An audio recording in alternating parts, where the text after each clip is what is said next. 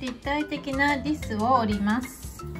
まずこちらをえっと半分に折ります。半分に折ります。開けます。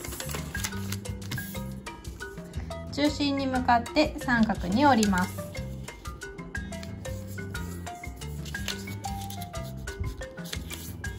3箇所折ります。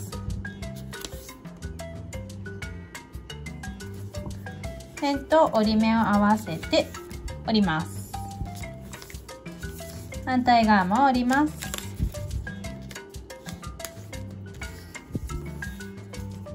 こちらの辺と辺を合わせて辺と辺を合わせて三角に折ります。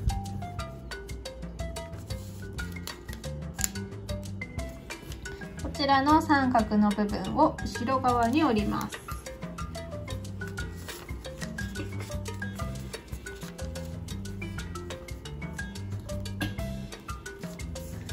開いて裏返します。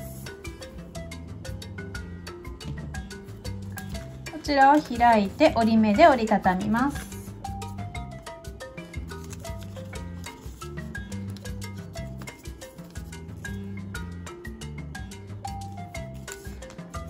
こちらを段折りして角が少し出るぐらいにします。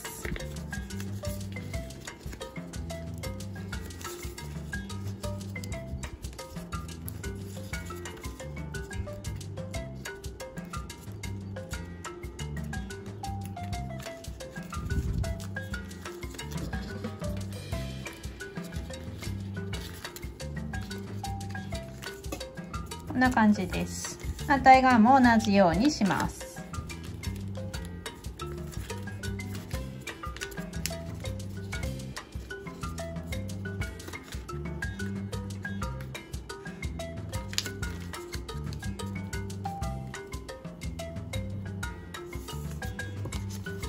こちらの角をかぶさるように折ります。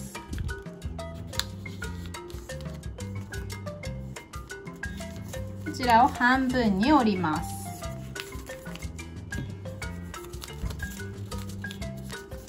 半分に折ったらこちらを少しずらして斜めにします。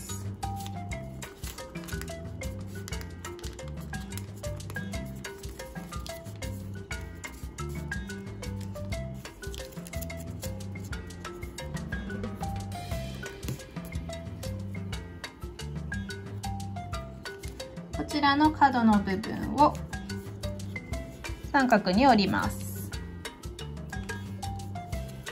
反対側も同じように折ります。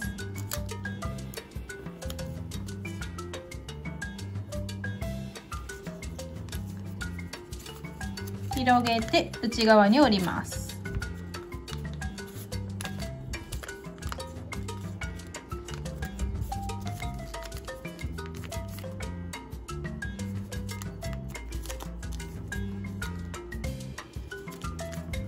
次にこちらの部分を少しずらして折ります。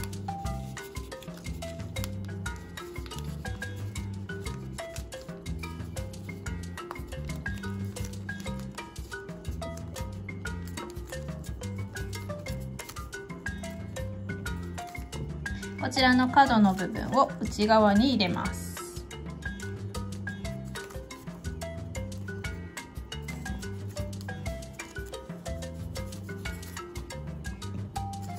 ちらの辺の部分を丸くなるように少し内側に入れていきます。